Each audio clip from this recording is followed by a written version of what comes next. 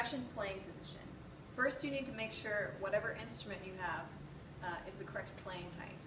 So, all of our percussion stands adjust with wing screws down here on the bottom. You have two. Make sure that you choose the top one because that's going to help you change the height of the bells. I'm going to aim for a height that's equal to my hip bone. So let's see if I got it right. My hip bone is right here, so this is a little bit too low. Let me go up a little bit more. And now that's about right.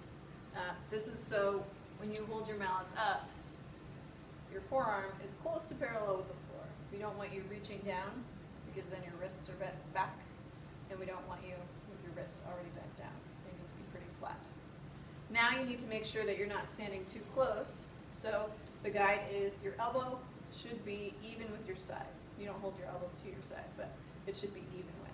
So if I just shook my arms out up, I want to make sure the center of them is with my playing surface. No chicken wings,